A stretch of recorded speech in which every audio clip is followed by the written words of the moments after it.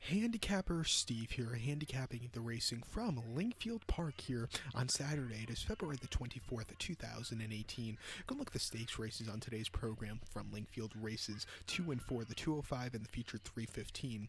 But before we get on to that, remember please follow me on Twitter at Horse Racing Kid 5 for more selections for race courses around the world. And join me here on YouTube in about uh, two weeks now from uh, from Tuesday for the Cheltenham Festival. We'll have previews up for all, all those days racing. Um, two days in advance of each race. So just keep that in mind. Um, you know, I'm a little bit busy. I can't do a full um, preview until then, but uh, uh, but uh, we'll get to that when we get to that. But this Lingfield car today is an excellent card of racing. Um, some very nice races over the flat. Uh, the flat season does start in about four weeks' time, so I can't wait for that. Um, but um, let's get on to it. Starting off with the second race, the 205 from Lingfield. The second race, it's the Betway Hever Sprint Stakes. It's a listed stakes for Class One horses, going for a purse of sixty-one thousand dollars. It's for four-year-olds and upwards. Field of eight horses, going the thousand meter trip or five furlongs on the all-weather poly track. My top pick in this race, I like number four horse Gracious John. I'm gonna go four seven one in the TriCast of the trifecta. Four seven one TriCast trifecta. Top pick number four Gracious John. Five year old gelding by Baltic King. Fran Berry gets the leg up for Dave Evans, who trains as one. Most recently, horse had to start about three weeks ago now here at um, Lingfield. 3rd of February, six furlongs, 1,200 meters in a Class 1 listed stakes. Horse had a disaster trip, wide posture, which is not ideal here. This horse finished 12th by nine lengths. Never really got into it, weakened out of it, off the layoff with the wide posture. You know, it, just throw that race out. I think coming here with a better posture, uh, dashing, five furlongs. This horse should run very well. Start before the 2nd of January. They came at Newcastle. Five furlongs, class two conditions race. That was a pretty tough race. This horse finished seven by four and a half lengths, and he just, again, he kind of weakened out of it. wasn't his day to win. Um, and then the 22nd of uh, December at Wolverhampton, five furlongs, class two handicap. He ran very well. Won by nose. Had a great turn of foot at the end. Just had a very nice victory with high weight of 135 pounds. Decent run. Uh, you know, one two in a row. He won his start before also here at Lingfield. Five furlongs on class uh, class two handicap 12th of December. Horse won by a length. Good post draw. Again, quickened up nicely. Have a very nice victory.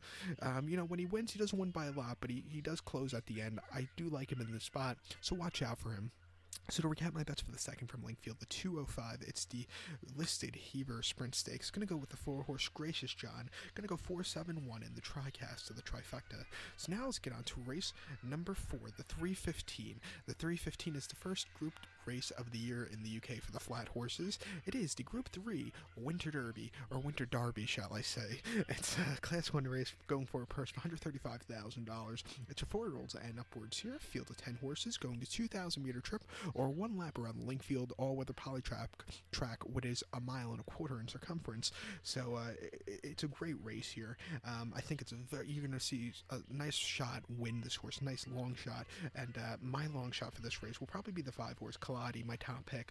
Uh, I'm going to go 5 3 10 in the TriCast or the trifecta, but um, I'm going to use the three horse Convey also as a little bit of a each way wager. I'll talk about him also, but my top pick, number five, Khalidi, seven to one here, um, gets Kirby up in the saddle for Clive uh, Cox. He trains his four year colt by High Chaparral, who is a very good horse.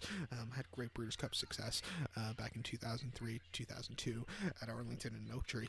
But um, you know this Khalidi horse, he hasn't started since Glo- Glorious Goodwood. The second, the fifth of August, Goodwood. Remember when they had a very soft, uh, wet ground at that uh, this year's Goodwood. Mile and a half in the Group 3 Gordon Stakes. Horse finished second by three and a half lengths. He quickened up a little bit, but the winner, Crystal Ocean, just ran a little bit of a better race. He was second best. I think sitting on the shelf for the past five months or so, he should uh, really be fresh enough to run here. He has a good poster on this race course. You don't want to be drawn wide going two turns here, uh, or three turns, whatever it is.